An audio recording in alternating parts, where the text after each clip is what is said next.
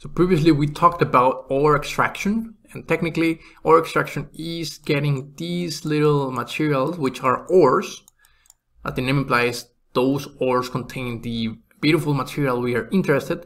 Rarely you will encounter a high purity ore, for instance this one right here which appears to be pure copper. Now what you're going to encounter is not pure copper, not even copper alone, but CuSO4 and so on, carbonates and sulfates, etc hydrates. And what you need to do is, well, first things first, you want to crush it. So you get individual particles, then grind it, flotate the materials, downwards goes the heavy stuff. And then the interesting part right here is using chemical reaction. Eventually what you want to do, you cannot do anything physical to remove those components, those moleculars. If you want to get copper alone as a element, you will need to use chemical reaction. And here it goes. Uh, you have the melting material, the SO2 gas, which of course is from this part right here. And you heat it right here. Uh, where is it?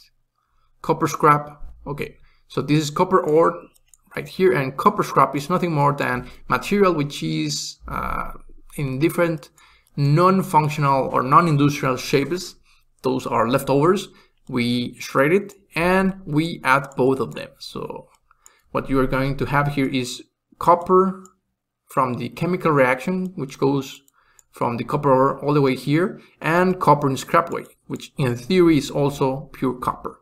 Eventually, the main idea is to get some copper, treat it, and you will have your copper plates ready to be treated, and uh, you can have them on several shapes, piping, uh, uh, laminar, things. Uh, what else do we have here? Well, uh, essentially those are the main uh, ways, maybe bars of copper and so on.